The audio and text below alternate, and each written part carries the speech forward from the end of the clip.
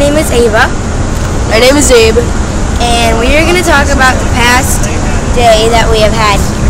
So Abe's going to tell you a little bit about ziplining. Okay, so um, we went zip lining uh, on Saturday, and so we it was pretty fun. We had to wear these safety harnesses, and so Loud.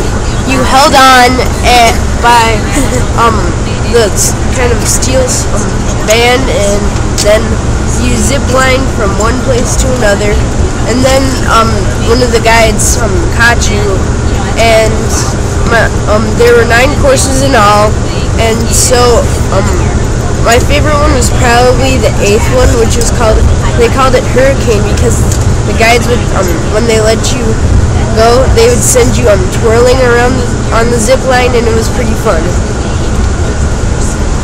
Nice, Abe. And what I liked about ziplining is that the people there were really, really nice. And there was one guy called Pretty Boy, and he was really, really nice.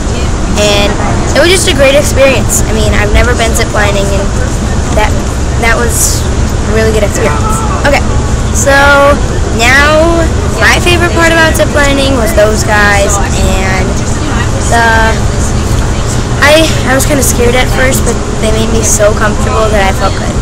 Okay, so Abe's gonna tell you a little bit about the ceremony and the results. Okay, so um in the opening ceremony, I mean the closing ceremony, they did the um results and the categories kind of backwards. So um we were this um we New- news to me, which is the one that um the category that we're in was the um second category to have results in for, and um we didn't make it in the top 10, but we got 16th place. We found out afterwards, so we were pretty happy. Yeah, 16th place out of 70 teams. I mean, in the world. So we thought that was pretty awesome.